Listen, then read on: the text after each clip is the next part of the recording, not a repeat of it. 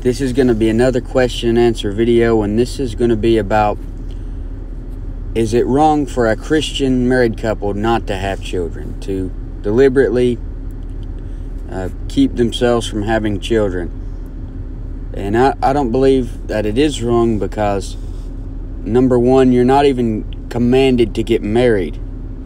In 1 Corinthians 7 7 and 8, it says, For I would that all men were even as I myself.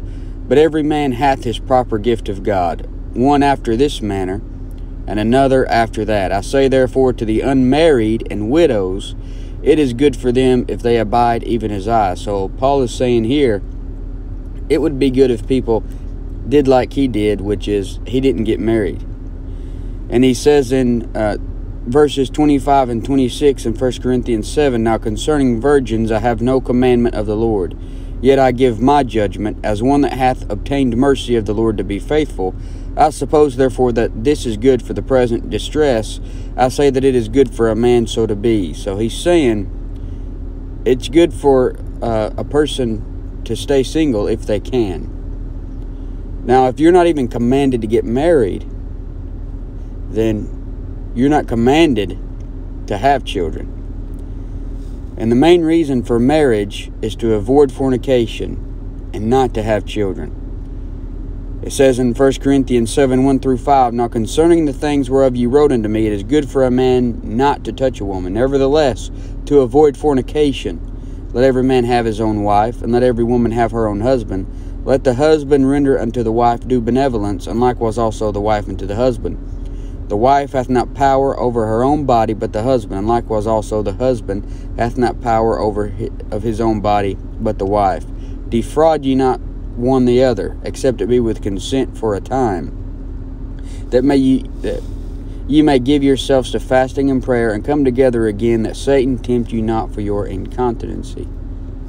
So, the first thing was you're not even commanded to get married. The second thing is marriage is for forn- is, is to avoid fornication, and not just for the purpose of having children, because a lot of people believe that you know the main reason for for a man and woman getting together is to have children, but that's not true.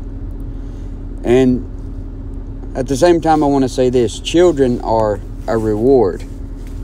It says in Psalm 127, 3 through 5, Lo, children are an heritage of the Lord, and the fruit of the womb is his reward. As arrows are in the hand of a mighty man, so are children of the youth. Happy is the man that hath his quiver full of them. They shall not be ashamed, but they shall speak with the enemies in the gate. So, children are a reward and it's very good to have children. Uh, I mean, I, I, I would say that it's God's plan for most people to get married and to have children. And the Lord is the one that puts the child in you. The Lord is the one who shuts a woman's womb. He's the one who makes it you able to conceive. For example, in 1 Samuel 1 6 and 7, this is talking about Hannah, and it says, And her adversary also provoked her, provoked her sore, for to make her fret because the Lord had shut up her womb. And as he did so year by year, when she went up to the house of the Lord, so she provoked her. Therefore she wept and did not eat. So the Lord was the one that was shutting up in his womb, and then the Lord is the one that let her conceive in 1 Samuel 1 19 and 20. So the Lord is pleased when a child is born. He's the one that opens and closes the womb. Galatians 1:15 But when it pleased God who separated me from my mother's womb and called me by his grace. So I believe any uh, form of birth control that actually kills a child that's already been conceived would definitely be a sin. It would definitely be wrong. Of course, we know abortion's wrong. But what is the reason behind why a person doesn't want a child? If it is because they feel like they, they won't have as much money or can't live the fast life that they lived before, then their main problem would be those things themselves and not the fact that they don't feel like they need kids.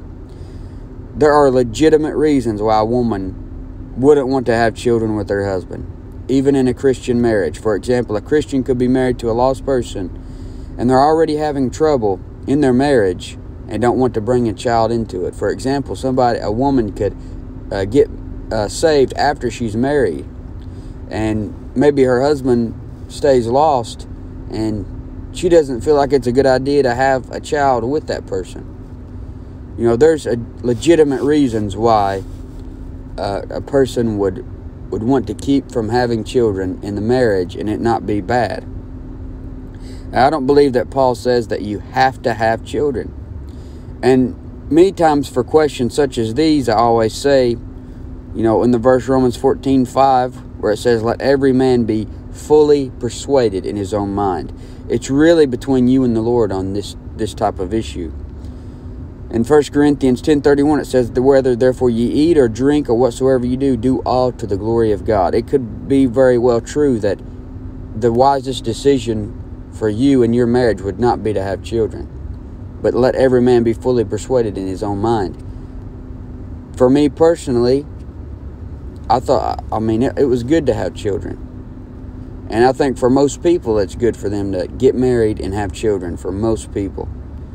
And there are many Christians who believe any form of birth control is wrong, and they believe you should just have as many children as the Lord allows, and that's perfectly fine if they want to do that. I think it's good that they have a lot of children. I just don't think they can use the Bible to say every married couple should have as many children as they can. Because there is legitimate reasons why a person would feel like they shouldn't have a child. Uh, I personally believe it is between the married couple and the Lord on how many children that they're going to have. But if Paul doesn't even say a man or woman has to get married in the New Testament, because the married, married man careth for the things of the world, how he may please his wife, how can we say they have to have children? They just have to have them. How can we say that? If Paul even says it would be good if you remain unmarried, even. Just because he told just because the Lord told Adam and Noah to be fruitful and multiply doesn't mean you must continuously have children today. I mean, both of those guys were needing to be fruitful and multiply so that they could repopulate the planet. In Genesis 35, J- Jacob is told to be fruitful and multiply because God's people was going to come from him. But don't forget, we're in the New Testament. We aren't so much concerned with having a, having physical children as we are spiritual children. As Paul talks about in 1 Corinthians 4 15, he talks about how he, for in Christ Jesus I have begotten you through the gospel. So everyone has a right to disagree with me. And I, am fully aware that many people are going to disagree with me on this topic. And if you do, then great. I hope that I really hope that you have as many kids as you want. I hope the Lord blesses you with 50 kids or better. I mean, I have kids. I think it's good to have kids. I think it's good for most people to have kids, but I don't feel like I can just go to a person and tell them that they have to have children to be right with God.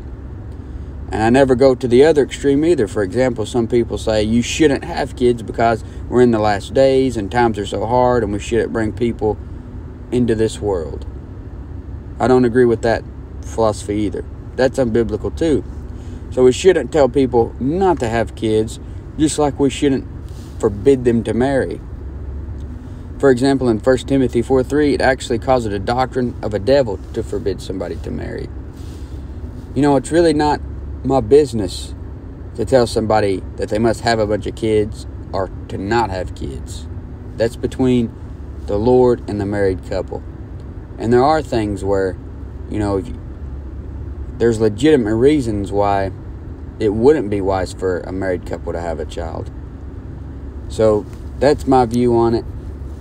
I know a lot of people disagree, but I believe that's the the biblical view on it is it's great to have children.